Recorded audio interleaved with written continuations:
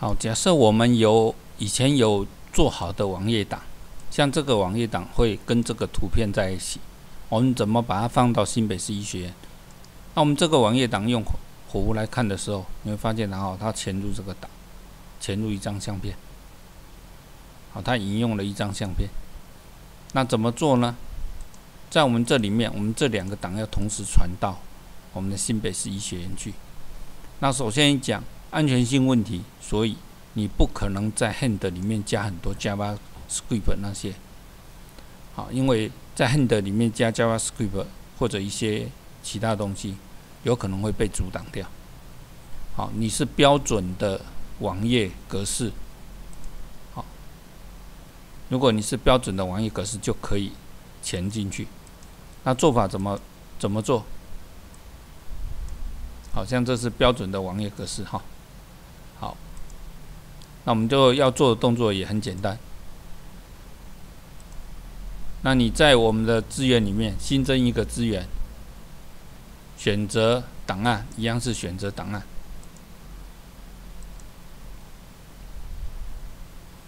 那这个时候你传档的时候，你就可以同时传很多。你也可以使用。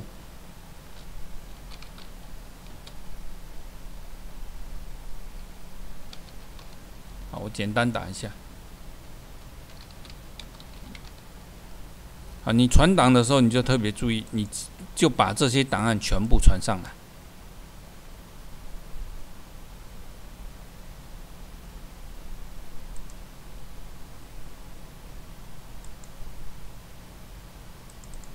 我刚才这两个档，我把这两个档都传上来。我先把这个图片传上来。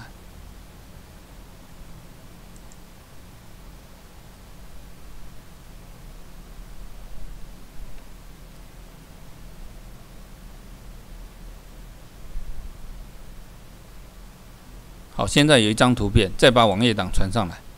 当然，你要把它打成一包 zip 上去，再解压缩也可以。好，再把网页档传上来。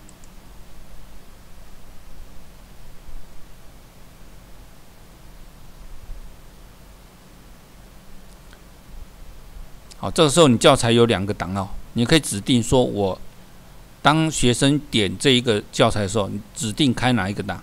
以我们现在来讲，当然一定是先开这个档。设成主要的档案这里，把这个档设成主要的档案，储存并返回课程。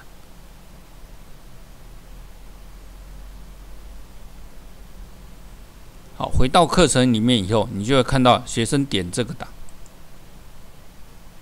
它就会把这个 HTML 档把它打开来，那你原来填入的图片、引用的图片也都会正常的存在着。这也就是以前，如果你有已经做好的网页档，可以利用这方式把它放到我们的教材里面来使用。